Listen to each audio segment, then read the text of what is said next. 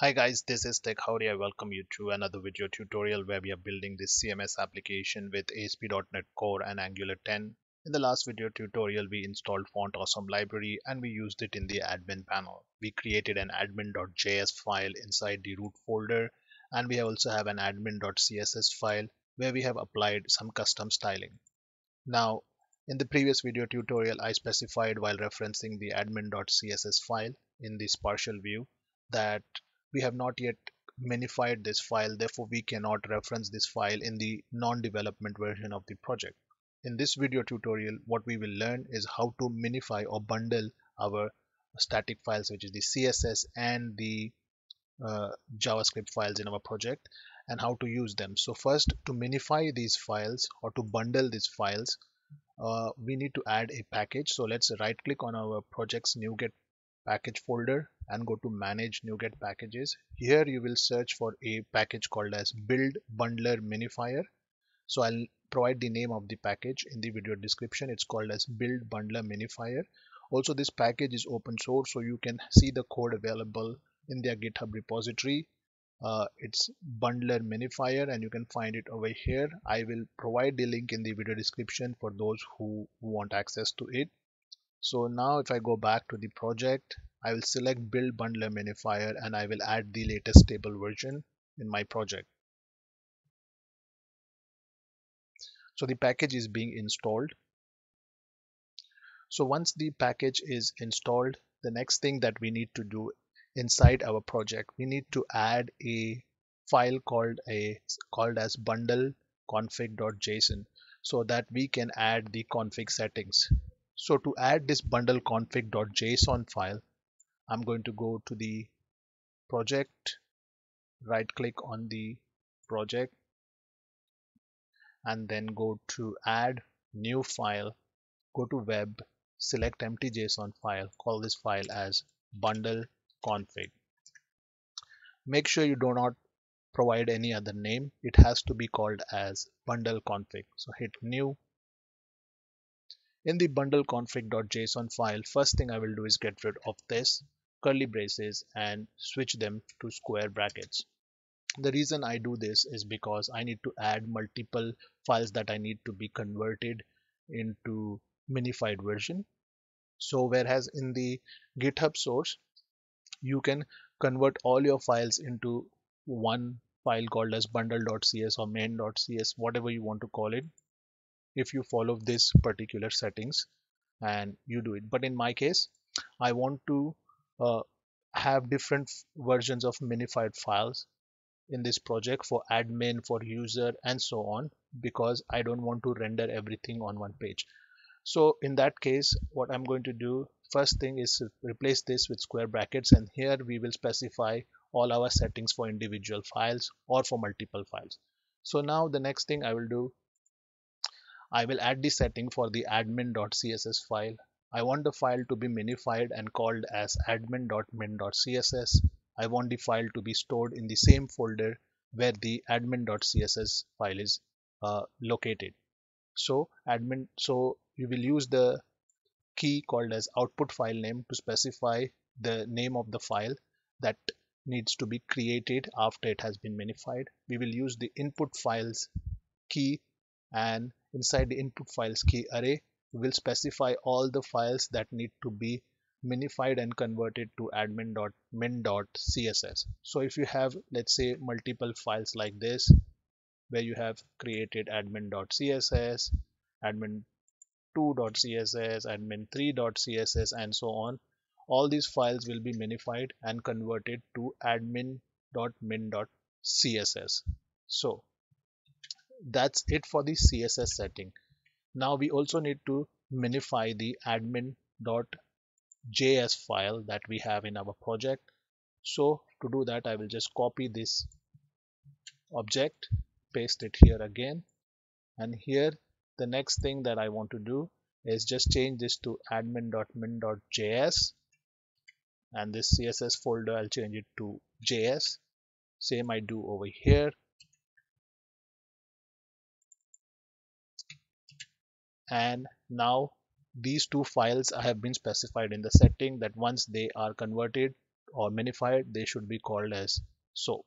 Now the next thing that I want to do is I want to set the source map settings to false. If I go back to the github repository and if you will see here there is a setting to set the source map as false. So here we are been said that while bundling the JS files the package will create a source map file and a map dot with an extension called as dot map.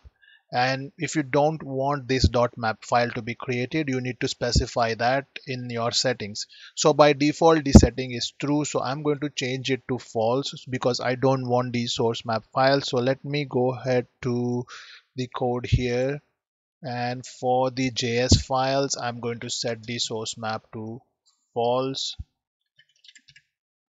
so here for the JS files, it will no longer create any source map uh, files when it's being bundled.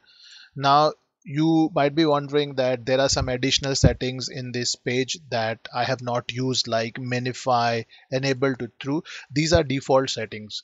So if you don't add these settings, this remains the same. Only if you want to change them, you can add them. But if, if you don't add them, the bundling will still take place because these are the default settings in your bundling file or bundle config.json file. Now let's go back uh, to the project and now let's build this project. When we build this project you will notice that inside the custom folder where we have the JS and the uh, admin.js and the admin.css file you will see a drop down kind of icon being created there.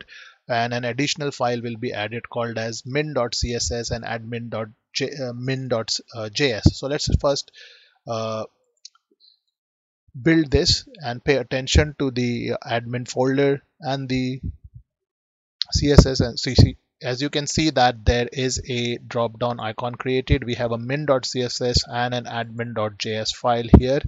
So if you open this js file so the contents of the .js file have now been minified to admin.min.js and you have the minified version available. So we can now go to application header styles and the UI partial over here here we can copy this paste it over here under custom JS and we can change this to admin.min.js because now we have the minified version of the file. For the same thing we can do for the css file. So we can copy this link here and we can place it over here as admin.min.css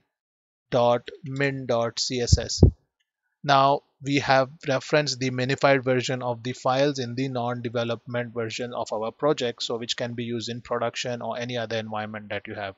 Now there's one thing that I have noticed while using Visual Studio for Mac it is a bug. And Visual Studio is not the same as Visual Studio for Windows. So uh, it's an open source uh, IDE that we are using but if you open the admin.css file you might notice that the file is blank and you might be wondering oh my uh, admin.css file contains uh, css code but why my admin.min.css file is blank? So if you carefully look at the uh, scroll bar here you have a scroll bar which is like kind of indicating that there is something in your file. But if you go to the changes and look at the changes option you will see that there is code in your file but you cannot actually uh, see that code. And that's a kind of a bug that I have seen in this uh, Visual Studio IDE for Mac. So I, I thought that might be a problem with the package, but there's no problem with the bundle package that we are using. If you go to the bootstrap folder CSS and bootstrap min.css file, if you open the file, you will notice that you might not see anything in the bootstrap.min.css file, but there is no problem with the bootstrap min.css file eh, in this project. So here I can see bootstrap.min.css file open, but I cannot see the code, but I know there is code in this file. And you can see this scroll bar here, which is kind of indicating that there is a lot of code here, which we cannot see. Basically, the code appears transparent. If I close this project for now and try to open this project using the other uh, IDE that I, I usually use, but it's it's not free. It's called Rider. So if I just right click on it, open it with Rider,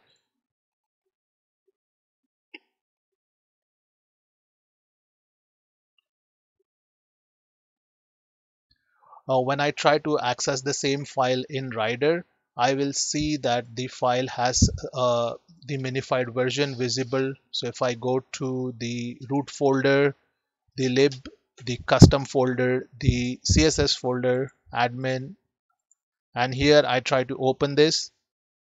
Here you can see that I can see the minified version of my CSS file. So definitely there is a problem with this uh, Visual Studio 2019 for Mac.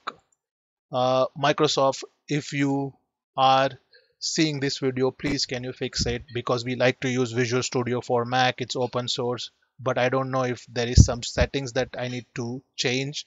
But if it would be helpful if you can fix this but anyways we have access to the regular css file so if in case we do any changes we can check the CSS file and if you want to have access or look at the contents of the min.css file you can use Visual Studio Code as well. So this should be it for this video tutorial. I have shown you how you can bundle and minify your files, how you can reference them in your projects and if you have any other questions please do uh, let me know via comment section and I'll be happy to assist you. Thank you once again and have a wonderful day. Please like and subscribe my channel Tech Howdy.